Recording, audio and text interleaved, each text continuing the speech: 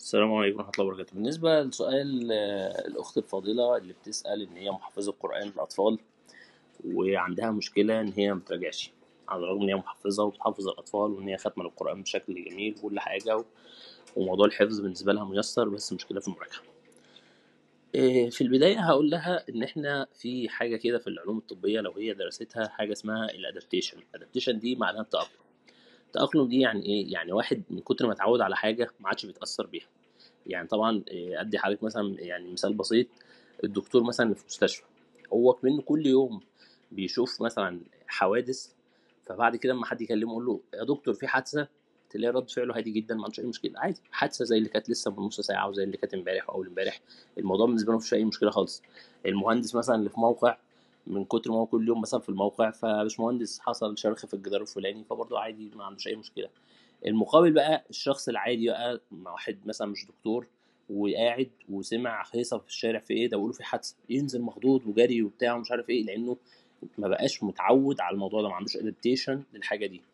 فمشكلة الأستاذة الفاضلة إن هي عشان يومها كله بقى مع القرآن الكريم فما عادش عندها ناحية الإيه التغير ناحية القرآن الكريم. بقى تحس القرآن الكريم ده حاجة عادية من هي بتعملها كل يوم. ما عادش بقى الإيه النوع المختلف العلاقة اللي بينها وبين القرآن الكريم. عشان كده هي حتى بتتكلم إن معاها في البيت إخواتها ربنا يبارك فيهم كلهم ختمين والمراجعة بالنسبة لهم سهلة. ليه؟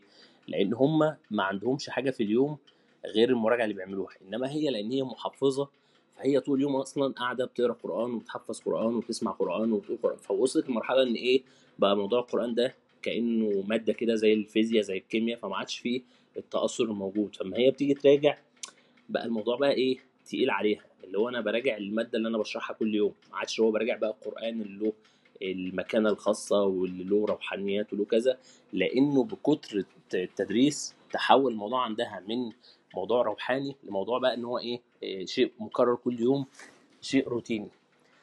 فهي الأستاذة الفاضلة محتاجة تعمل إيه؟ محتاجة إن هي ترجع تاني تغير القرآن من شيء روتيني إلى شيء فيه نوع من الروحانيات. طيب الكلام ده تعمله إزاي؟ تعمله بإن هو بيبقى فيه تغيير بين اللي هي بتعمله في الدار وبين الحفظ والمراجعة. ده يحصل إزاي؟ يحصل بطرق كتير. يحصل أولها مثلا إن هي تخلي لها علاقة مع القرآن الكريم غير بس علاقة القراءة. يعني مثلا يبقى لها علاقة تفسير.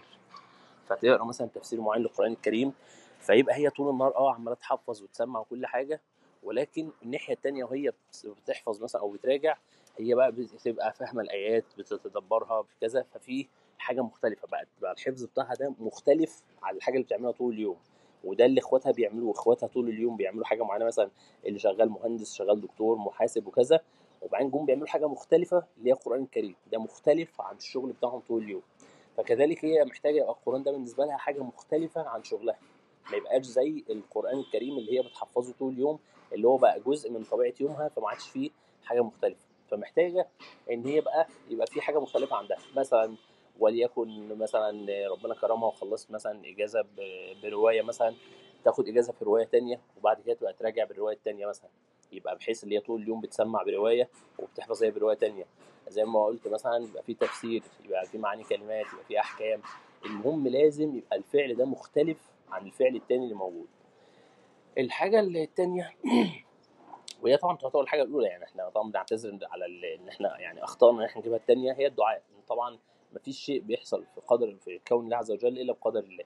فهو ما فيش حد ولا حاجة ولا أي شيء يخليها تحافظ على الحفظ إلا توفيق ربنا سبحانه وتعالى. فهي محتاجة بكل ما تستطيع إن هي تدعي ربنا سبحانه وتعالى. تدعي في الأوقات بقى المستحب فيها الدعاء بكل الأدعية الثابتة عن النبي صلى الله عليه وسلم والأدعية اللي في القرآن الكريم وغيره وغيره وغيره من الأدعية إن ربنا عز وجل يوفقها لهذا الأمر انه ربنا يجعل القرآن في صدرها وليس على لسانها. ان في بعض الناس زي ما بقول لحضراتكم مثلا القرآن مثلا عنده إن هو بقى مهنة. فتلاقي مثلا والعياذ بالله تلاقي مثلا واحد محفظ قرآن واخلاقه سيئة. لأن هو موضوع القرآن ما عادش بالنسبة له آه، رسالة أو معنى. هو بقى وظيفة. زي ما بقول لحضراتكم زي في مدرس فيزياء مدرس كيمياء مدرس رياضة في واحد مدرس قرآن فهو القرآن بالنسبة له إيه؟ مادة زي بقية المواد. يعني حتى افتكر في مرة واحد يعني ربنا يتوب وعليه يا رب واحد جارنا كان في الأزهر وكان عنده امتحان قرآن فبقول له عملت إيه النهارده يا محمد؟ قال لي جالي امتحان ابني مش عارف إيه وكان صعب. أنا الكلام صدمني. بس هو بيقول ليه كده؟ لأن هو وصل عنده إن القرآن ده مادة زي بقية المواد اللي عنده. عنده أحياء وعنده إنجليزي وعنده عربي وعنده قرآن. فالقرآن بقى مادة من ضمن المواد.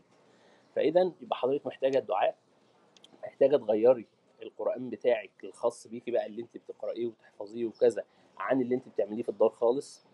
محتاجة يبقى في عندك تحديات مختلفة جديدة مع القرآن الكريم المجرد مش المراجعة لا عندك مثلا وليكن إيه وليكن مثلا ختمة فيها مثلا معاني الكلمات.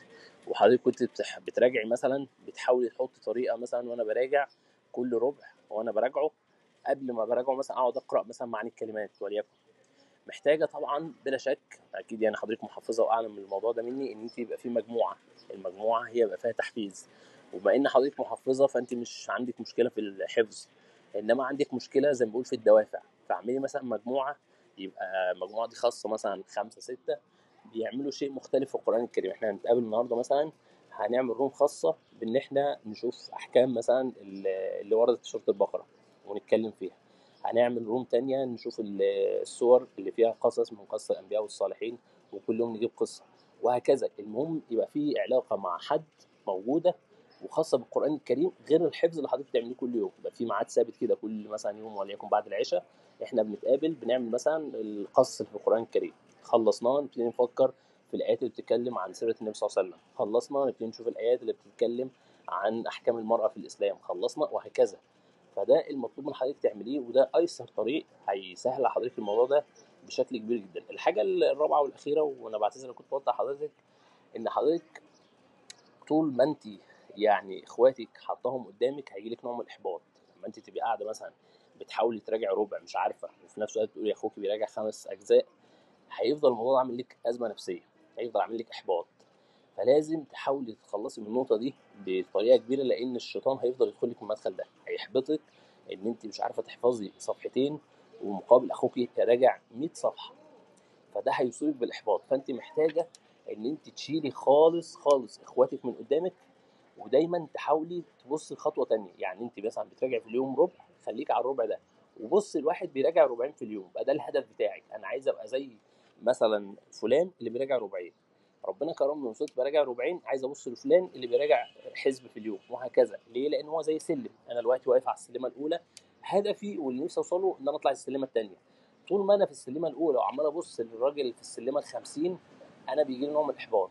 أنا إزاي هوصل للراجل ده؟ ده الراجل ده في السلمة ال50 أنا اقعد بقى ده أنا مهما حاولت فين بقى عم أوصل للسلمة ال50 وبعدين لما أوصل للسلمة ال50 هيكون هو وصل للسلمة ال200 فده بيخليكي خلاص أصلا نفسيا ما بتطلعيش الخطوه الثانية لأن أنت حاسة إن مفيش أمل. أنا مش هوصل أصلا. يعني عارف عليك زي ما يكون مثلا إيه رايحه مشوار مثلا مشوار ده 500 كيلو والعربية بتاعت حضرتك مثلا مش مش كفء قوي فمشيتي أول 10 كيلو وقعدت فيهم ساعتين. هيجي لك نوع من الإحباط بقى. ده أنا بقى لي ساعتين في 10 كيلو. أمال هخلص 500 كيلو دي إمتى؟ ده أنا مش هخلص بقى. إنما لو أنا ماشي في الطريق ولقيت عربية جنبي حالتها أسوأ مني وماشية معايا فقلت طب ما هو عادي يعني. الناس كلها ماشية ده العربية اللي جنبي دي ماشية فإيه؟ هتحفزني إن أنا أمشي. إنما طول ما أنا عمال أبص وأنا ماشي على الطريق أبص ألاقي عربية بي إم طايرة من جنبي وأبص ألاقي عربية مرسيدس بتجري وعربية تويوتا راح. كل ما أشوف عربية بيجي لي إحباط أكتر فهاجي في الآخر أقول أنا مش رايح المشوار ده وأرجع. ولا المثل الاعلى ده اللي حضرتك بتعمليه مع إخواتك. إخواتك بيراجعوا في اليوم خمس أجزاء وأنت مش عارفة تراجع ربع. فعامل الموضوع ده هيفضل يعمل لك أزمة العمر كله. فأنت لازم تنسي خالص خالص إخواتك وتبصي على هدف تاني الناس اللي موجودة هنا. يعني في ناس هنا موجودة مثلا في كلاب هاوس في اليوم بالعافية بتحفظ جو بتحفظ صفحة. فخليكي مع الناس دي ويبقى ده هدف. ربنا كرمك خلصت الهدف ده بص الهدف أعلى شوية أعلى شوية أعلى شوية لحد ما هتوصلي تبقي بتحفظي خمس أجزاء في اليوم زي إخواتك بإذن الله. فحاولي كده ربنا ييسر لك الأمر دي يعني دي بعض النصائح المتواضعة من مني يعني وإن شاء الله أكيد الاساتذه الافاضل معانا هي يعني هيزيدوا ويفيدوا في الأمر ده وهيكون ده يعني كبداية كده تساعد حضرتك في الأمر ده يعني إن شاء الله. السلام عليكم.